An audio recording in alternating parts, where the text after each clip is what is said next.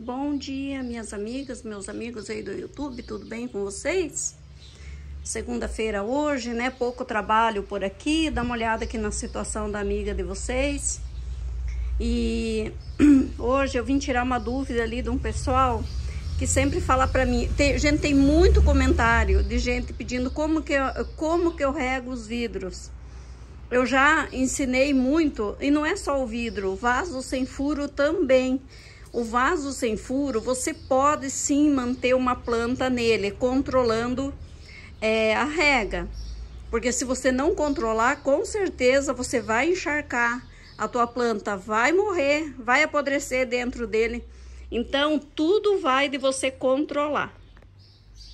Aqui na minha cidade, todo mundo sabe aqui que eu vendo muito esses vasos. Esses vasos aqui que eu faço, deixa eu mostrar aqui para vocês.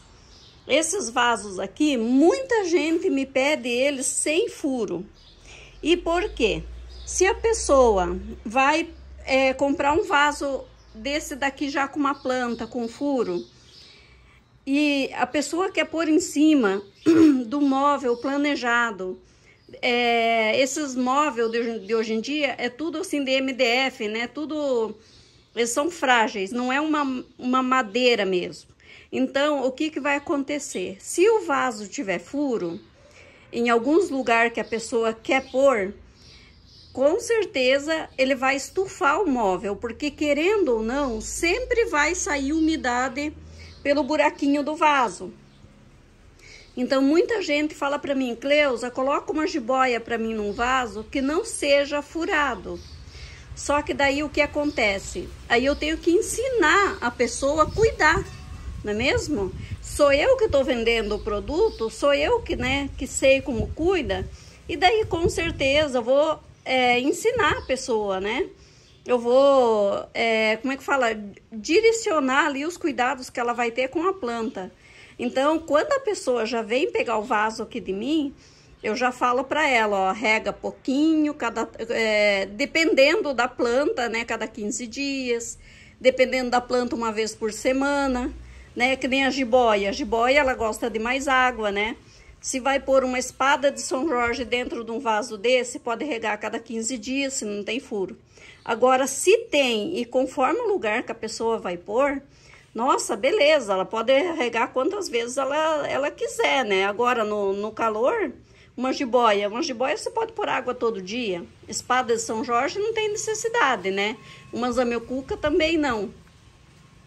Então, a gente tem que sempre, eu, eu principalmente, quando eu vendo, é, quando, eu vendo um, quando eu vendo um arranjo ali, mesmo sendo de vidro, mesmo sendo os meus vasos, eu sempre ensino a pessoa a cuidar, porque eu quero que a pessoa tenha a planta por muito tempo. Então, nesses aqui, essa semana teve ali uma pessoa que comentou, não sei se é escrita ou não, ela falou assim, ó, eu plantei no vaso de vidro e o meu morreu. Ou ela regou demais ou de menos, não é mesmo? Não sei o que aconteceu, né? Então, o que que eu sempre falo aqui, gente? Ó, esse aqui faz dias que eu não rego, olha o tamanho que ele tá. Ele tá mais bonito do que o dia que eu plantei. Olha aqui que coisa mais linda, ó, já tá saindo folha nova. Olha ali, ó, folha nova já saindo aqui, não sei se vai dar para vocês ver, ó, tá saindo folha nova aqui, tá saindo ali tudo depois que eu plantei aqui nesse vaso, nesse vidro. Que é um vaso também, né? Então, o que que acontece? O antúrio, se você for colocar muita água, com certeza ele vai apodrecer. Tem que maneirar, a gente tem que pensar assim, ó, ele não tem saída de água. Então, outra coisa, eu não gosto de encharcar aqui, ó, por exemplo, essa terra aqui, esse trabalho bonito aqui do lado, eu não gosto que ele fique encharcado, cheio de água. Uma que a planta vai morrer e outra que o vaso vai ficar feio, né? Vai virar um barro só aí dentro. Uma lama só, né? Como diz. Então, eu tenho que controlar a água. Outra coisa, colocar água só aqui, ó, só na planta. Nunca colocar em volta aqui, ó, onde, sabe, longe da planta, por exemplo para não molhar a terra aqui. Então, você coloca só lá na planta. um copinho de água, um copinho americano de água, gente, o antúrio, se você colocar um copinho americano de água a cada 10, 12 dias, ele vai sobreviver tranquilamente. Por quê? O antúrio, ele é uma planta que ele não gosta de ficar no seco, né? Vocês sabem. Só que você vai manter somente a umidade da planta. Essa água que você for colocar ali, com certeza ela vai evaporar. Agora, se você encher o vaso ali, muita água aí dentro, com certeza não vai evaporar, porque ele não tem furo. Então, tem que colocar o suficiente que, a, que, que evapore, que a água consiga evaporar, tá? Que daí aqui, ó, faz dias que eu não coloco, olha aqui, ó. Ui, derramei água aqui. Ó, deixa eu mostrar pra vocês, ó. Sabe aqueles copinhos americanos bem pequeno? Que todo mundo conhece, bem baratinho que tem por aí? Então, olha aqui, ó. Eu tô, eu tô colocando ele bem cheio. Desculpa, me embananei ali. Eu tô colocando ele bem cheio, ó, de água. E eu vou colocar, gente, dá uma olhadinha aqui, ó. Bem no pé da planta, ó. Estão vendo? Lá, ó. Na planta. Só isso, mais nada. Vocês viram que ele não encharcou para cá e é só o suficiente que a planta precisa. E nesse aqui, por exemplo, ó, deixa eu dar mais um exemplo aqui para vocês. Deixa eu colocar água aqui no copo. Ó, vocês estão vendo que, que esse bambu da sorte, ele tá num vasinho menor. Olha o tamanho desse e olha o tamanho desse aqui. Esse vasinho, ele é bem menor. Então, você não vai colocar um, um, copinho americano cheio num vasinho menor. Não é a mesma quantia. Você tem que ver o tamanho do vaso, tá? Olha aqui, ó. O vasinho menor, ó. Isso aqui de água, ó. Estão vendo? Também porque ali não tem saída de água, ó. Tem que pôr pouquinho. E olha aqui, ó. Bem no pé da planta ali, ó. Ó. Sem, sem encharcar o vaso, sem molhar pra cá. Esse aqui, ó. Esse bambuzinho Desde quando eu coloquei aqui, ó, vocês estão vendo aqui que ele já cresceu, ó. Estão vendo, ó? Não tem como dar errado, gente. Tudo vai do tanto de água que você vai pôr. Outra coisa. Você sabe que tanto o bambu da sorte, que é madracena, o antúrio, eles são plantas tropicais. Eles gostam de água na folha. Aí, se você deixar a folha toda empoeirada, tem gente que pensa assim, tá, mas eu vou regar ali, como é que eu vou lavar essa planta? Como que eu vou limpar? Eu não gosto de passar paninho molhado na planta, sabe? De folha por folha, né? Eu não tenho essa paciência nem esse tempo todo. Outra coisa, como eu tenho muita planta, eu não gosto de fazer esse tipo de coisa. Então eu já venho ali com um chuveirinho bem fininho, deixa eu mostrar aqui para vocês como é que é, tá? Não sei como é que tá a imagem para vocês aí, porque eu tô aqui no solzinho da manhã, agora é bem cedo. E eu, daí eu vou, aqui tem bastante claridade, né? E aqui eu posso molhar à vontade. E olha aqui, ó, eu pego, deixa eu mostrar aqui pra vocês, só deixa eu controlar aqui o chuveirinho. Ó. Ó, vocês estão vendo o chuveirinho aqui? Deixa, deixa eu só... Isso, agora sim. Ó, estão vendo, ó? É esse chuveirinho aqui da planta, ó. Vai molhar tudo no celular porque aqui tem vento. Ó, é, vocês pegam esse chuveirinho bem fininho, ó, e só molha por cima, ó. Estão vendo?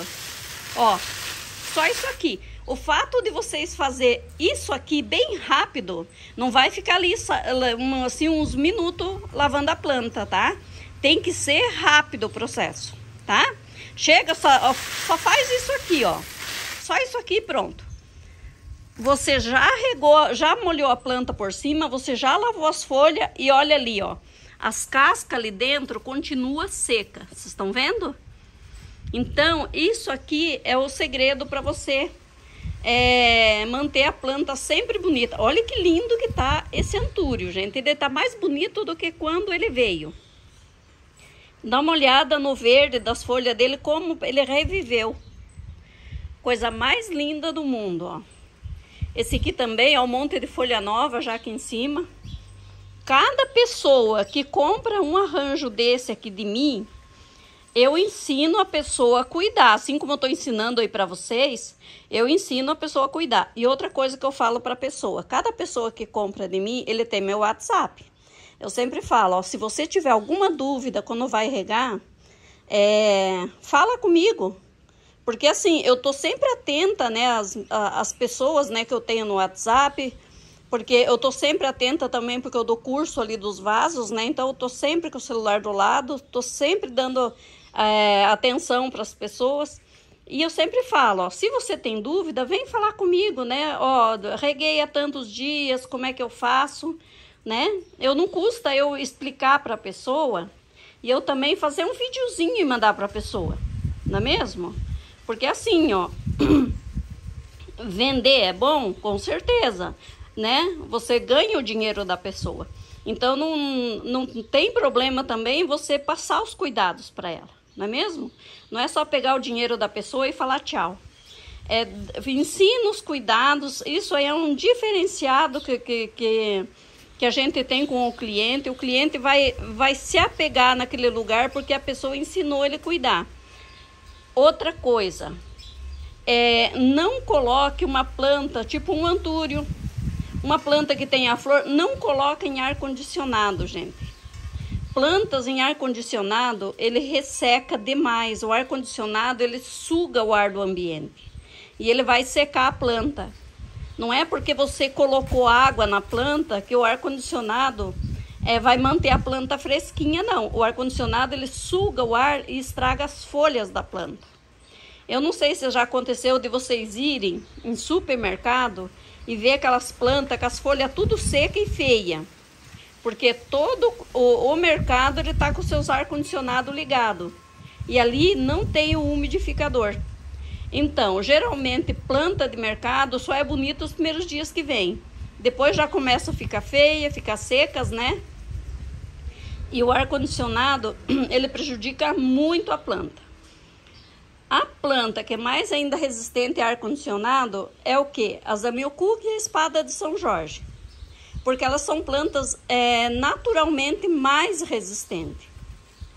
As, a, a jiboia, num ar-condicionado, você tem que estar tá direto ali, ó, borrifando água nas folhas, porque ela é uma planta é, que ela gosta de umidade, tanto na terra quanto nas folhas. Então, a jiboia, ela sofre também no ar-condicionado, tá? Então, tem alguns cuidados com a planta que não adianta, nós temos que ter. Olha aqui o jeito que a Cleusa tá hoje aqui, ó. Ontem eu não trabalhei, nessa né? semana eu pintei, essa semana veio o cliente aqui que queria vaso, vaso amarelo novamente e a Cleusa não tinha, né? A pessoa até quer, ela quer comprar com os pendentes, né? Com esses pendentes aqui. Deixa eu ver, nossa, tá um sol aqui, né? Com esse tipo de pendente, a pessoa quer um vaso amarelo. Só que a Cleusa não tinha um vaso amarelo pintado. Aí eu tive que tirar o sábado inteiro para pintar vaso novamente. As cores que eu não tenho, daí eu vim pintar. Eu não tinha, eu não tinha nem vaso amarelo nem vaso preto. Hoje eu vou passar a tarde é, pintando novamente, né? Eu já queria falar aí com quem tá me assistindo que ó, eu dou curso desses vasos aqui para quem quer aprender, tá? O curso a pessoa tem que vir aqui falar comigo no WhatsApp que aí a gente combina certinho, né, como faz. O curso é um curso muito em conta, é para quem quer aprender mesmo. Porque assim, tinha muita gente lá do, do, do norte do Brasil, do daqueles lados lá para cima, né? Ali teve pessoas de Brasília, de Goiás, muita gente lá de Tocantins veio falar comigo e não tem como eu fazer envio de um vaso desse. É muito caro o frete. Aí eu resolvi dar esse curso bem em conta para a pessoa aprender e para a pessoa vender lá na sua região também. Por quê? Já é um dinheiro extra que a pessoa está ganhando.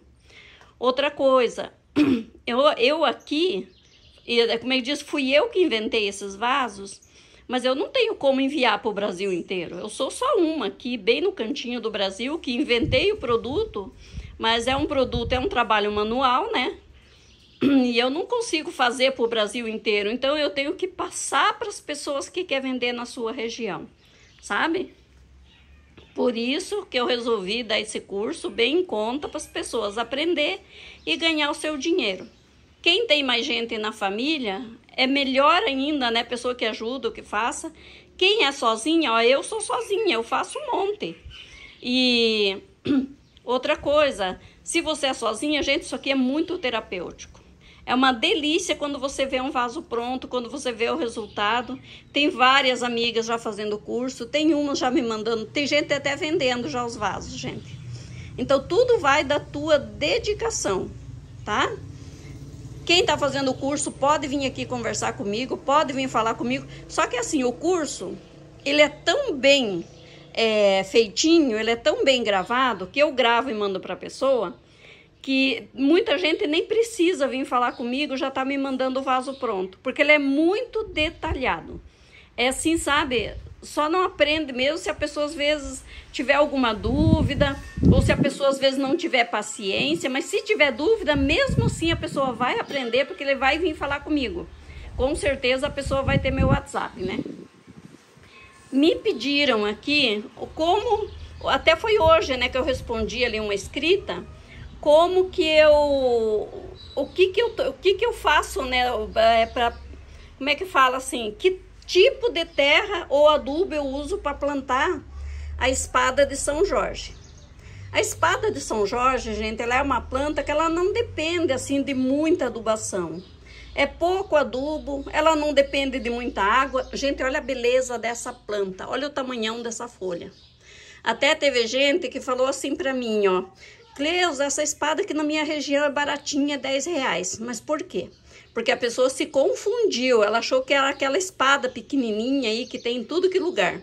Gente, essa espada aqui é rara. Eu nunca na minha vida tinha visto.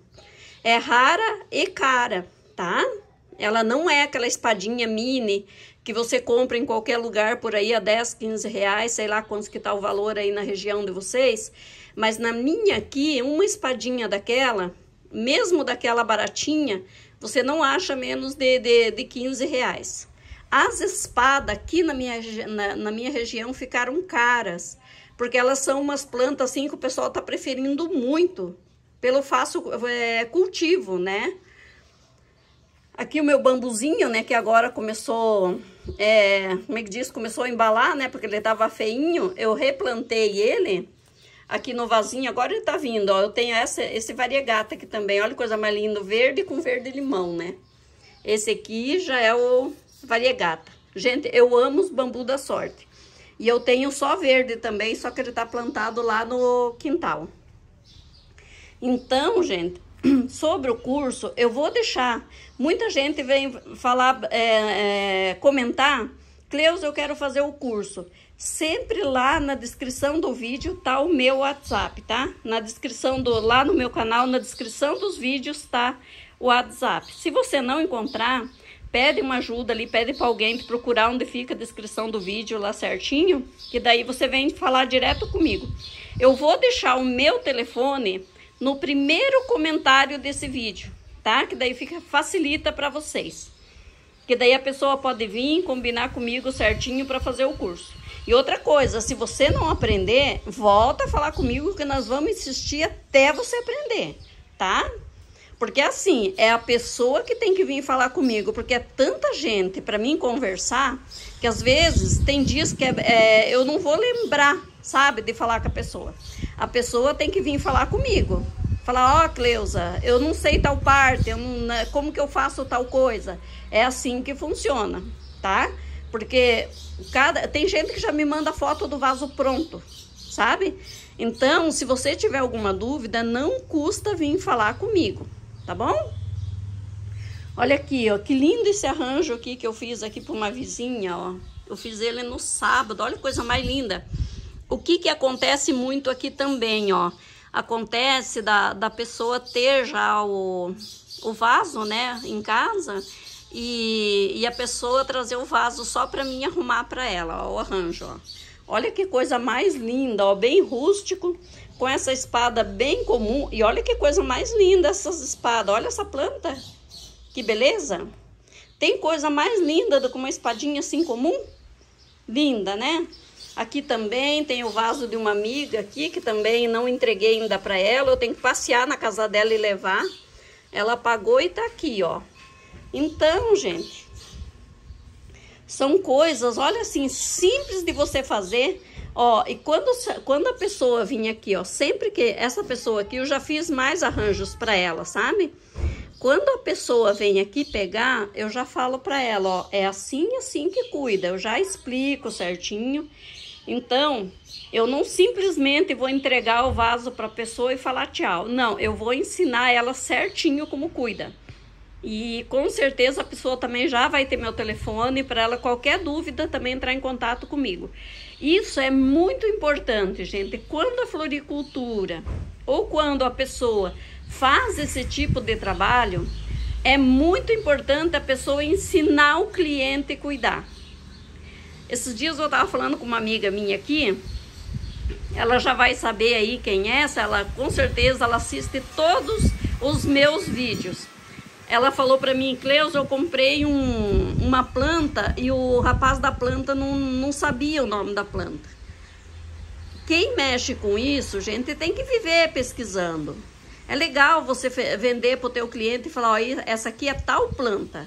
Cuida assim, sabe? Isso faz muita diferença no teu trabalho. Porque o rapaz vendeu para ela um filodendro, o birk, é o birk, birkin, sei lá como que é o nome, mas aí sei o nome mesmo. E não ensinou ela como cuidar, não sabia o nome da planta, sabe? Mas a pessoa tem que ensinar antes. Tem que não, né? Tem gente que não ensina e pronto, né? Mas seria o certo a pessoa falar, ó, essa planta aqui que eu tô te vendendo, ela não gosta de muita água, ela gosta de pouca água. Se a pessoa não sabe o nome científico, que nem eu não sei nome científico de planta, mas fala o nome popular que você sabe, não é mesmo? Porque o momentinho que a pessoa tem, pesquisa sobre as plantas, a pessoa trabalha com aquilo. Eu tenho que pesquisar sobre o meu trabalho. Faz parte, né? E é interessante, sabia? Dá uma olhada nessas alocáceas, gente. Hoje eu tava tirando foto. Eu tô com umas quantas plantas aqui, ó, que tá vendida. E ainda é, o cliente não veio buscar. E como eu tô sem carro, também não fui entregar. E tá aqui, ó. Mas tá bem cuidado, eu cuido bonitinho até a pessoa vir buscar. E nessa semana ela já me avisou que ela vem buscar. E aqui em casa tá assim, né, gente? Até eu comprar o meu carro, tá desse jeito. Então, mas é, não, não tem problema, né, gente? As pessoas quando querem a planta, elas também vêm atrás. Uma que eu vendo planta aqui só aqui na minha região, né? Aqui na minha cidade. E a pessoa daqui né, sempre tem carro, vem, bus vem buscar. Só que a moça que comprou esse vaso aqui, ela é bastante ocupada, sabe? Aí, é, nós estamos assim, né? Eu esperando ela vir pegar, mas se o meu rapaz vir antes, eu levo ali para ela. É uma menina muito legal, ela também. Ela é dona de uma estética e ela quer um, uma costela de Adão no apartamento dela. Gente, pensa numa planta linda que tá essa aqui. E aqui, gente, olha que coisa mais linda do mundo essas alocáceas, gente. Olha quanta folha nova vem nessa planta. Até tem uma pessoa ali que comentou comigo que a dela não cresce. Olha isso aqui, eu não sei onde ela vai parar com tanta folha. Olha aqui, é uma... Ó, isso aqui já é uma folha nova, vocês estão vendo, né, ó. Essa aqui é uma folha nova. E olha ali outra folha nova, ó, saindo. E, ó, lá embaixo mais folha nova, não sei se tá dando para vocês ver, ó. Aqui, ó, mais folha nova. Eu amo essas alocáceas, gente. Olha essa aqui. Essa aqui, então, né, sem palavras. Olha o tamanhão das folhas dela, ó. Aqui, ó. É uma folha maior que a outra. Então, gente, eu, hoje eu vou mostrar nova. Aqui também, olha esse filodendro aqui, ó. Quanta folha saindo. Deixa eu mostrar para vocês ele pegou o lado do sol. Ele tá pendendo pro lado do sol. acho tão bonito isso. E de vez em quando eu dou uma virada nele para mim poder ver ele, né? Porque ele vai sempre para lá. Olha quanta folha nova, gente. Olha aqui, ó. Folha nova aqui. Aqui também, folha nova. Ah, lá embaixo já saindo mais broto. Eu quero ver o tamanho que ele vai ficar também. Aqui, ó, eu tenho que mostrar novamente para vocês, ó, desculpa o sol, e olha que a beleza dessa orquídea, gente. Deixa eu virar aqui. Olha esse cacho de flor. Olha o encanto que é, ó. Eu já mostrei esses dias aí no vídeo para vocês, ela não tava toda aberta, né? Olha que sonho que é essa, olha essa cor, né? Então, e pensa numa planta que tá linda, gente. Eu ganhei ela faz anos já e a recém agora deu a primeira florada. E aqui tá assim, gente. Olha que lindo, gente. O cingônio rosa é tudo de bom também, né? Pensa, olha as folhinhas novas dele. Como eu amo o cingônio rosa. É muita... É muita facilidade, né, para cultivar ele. Então, gente, é isso. Hoje eu não vou fazer um vídeo que passa aí dos 30 minutos. É, eu tô cheia de trabalho por aqui também. Filho vem almoçar comigo hoje, como é bom, né? Hoje minha, minha princesa vem almoçar comigo, porque ela vai viajar. E é isso aí, olha que linda essa locácia, gente. Coisa mais linda. Ontem era para mim ter gravado o vídeo para vocês, eu não gravei porque eu fui almoçar na casa dela. Aí eu tirei um tempinho, né, para para conversar, para descansar ontem também. Sábado eu trabalhei bastante pintando vaso. E e é isso aí, né? Uma ótima segunda-feira para vocês. Meu canarinho voltou a fazer ninho ali, ó. Logo vamos ter é, novos moradores aqui na casa. Gente, eu amo de manhã quando esses canarinhos vêm cantar aqui por causa da casinha. Então é isso. Fiquem todos com Deus. E até o próximo vídeo. E qualquer dúvida, não esqueçam de comentar ali, de me pedir. Se acontecer de eu não responder, não é porque eu não quis, é porque às vezes o comentário ficou muito para trás. E é muito comentário para responder. Então não esqueçam, vão lá e comentem novamente, que com certeza uma hora eu vou ver o comentário de vocês e responder, tá bom? Não esqueçam que o telefone, o WhatsApp do curso vai ficar no primeiro comentário lá do, do vídeo, tá bom? Ou lá na descrição do vídeo também tem meu WhatsApp lá. Mas é, hoje, sem falta, eu vou deixar ali também no primeiro comentário o WhatsApp para quem quer aprender a fazer os vasos, tá bom? Para quem quer aprender a fazer essas belezas aqui. Então tá, um beijão a todos, fiquem todos com Deus e até o próximo vídeo.